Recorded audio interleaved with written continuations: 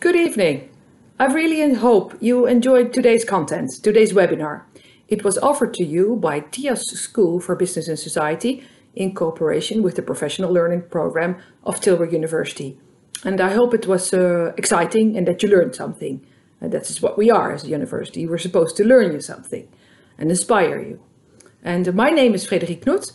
Uh, I just wanted to tell you uh, a little bit about our students, I'm director of alumni relations. I'm also director of the Tilburg University Fund.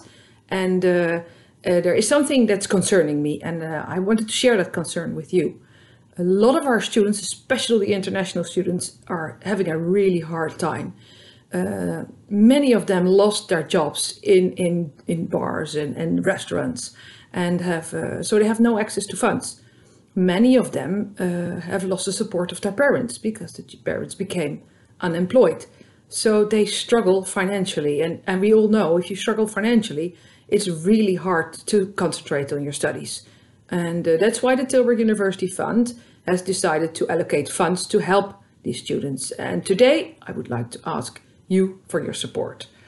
Um, if you enjoyed this webinar today, I'm really hoping that you would like to, sh to show your appreciation by donating to the fund to help our students uh, we'll be taking the liberty to send you a SMS, uh, a Tikkie, uh, with a request for a donation. And uh, obviously, if you don't like this, please delete it, no obligations. But if you share your my concern for our students, then please consider donating. And uh, that would not only make me very happy, but obviously it will really help our students and make them happy and make them able to concentrate on studies and uh, finish this year successfully. Um, thank you so much. Uh, hope to see you again next webinar and uh, have a nice evening.